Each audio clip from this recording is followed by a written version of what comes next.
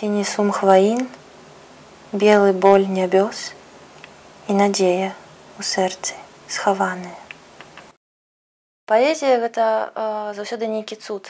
Тут таго, як словы звычайныя, самыя звычайныя, самыя звычайныя сродкі, якімі мы карыстаемся ў жыцці, яны складваюцца ў нейкую надзвычайную прыгажосць.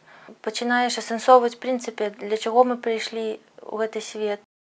Часам здаецца, што па вялікім рахунку ўсё, чым мы займаемся, все, што адбываецца, то ўсё такая мышыная вазня. А што сапраўднае ў гэтым усім?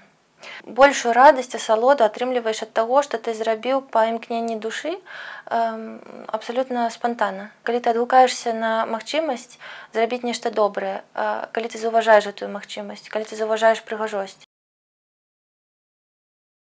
Адно з маіх любімых месцаў у мінску гэта кальварыйскія могілкі.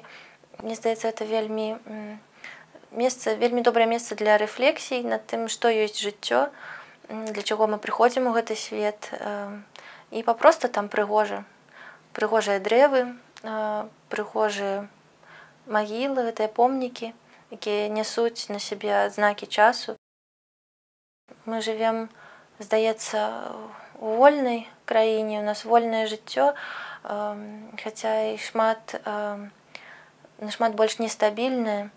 Гэта ёсць свабода, гэта ёсць кошт свабоды, калі ты не ведаеш, што будзе з табой заўтра і ўсё залежыць толькі ад твайго выбару. І это самае складанае рабіць гэты выбар кожны дзень, кожную гадзіну, нават кожную хвіліну.